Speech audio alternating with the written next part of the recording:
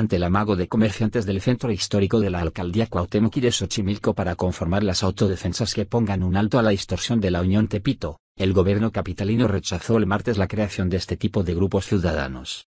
Rosa Isela Rodríguez Velázquez, secretaria de Gobierno de la Ciudad de México, acotó que de ninguna manera los civiles pueden hacer justicia por mano propia, agregó que es válido que se quejen, denuncian y pidan intervención de autoridades, pero rechazó tajantemente la creación de autodefensas reconoció que siempre que existe un conflicto de este tipo, se debe a una falta de atención del gobierno.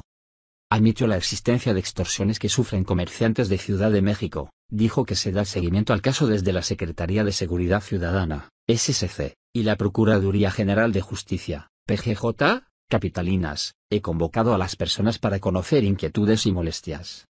Además, estuve el domingo en Xochimilco, sabiendo cuál era la inquietud y lo que han comentado es sobre inseguridad y no de una organización de tipo armada. Absolutamente no.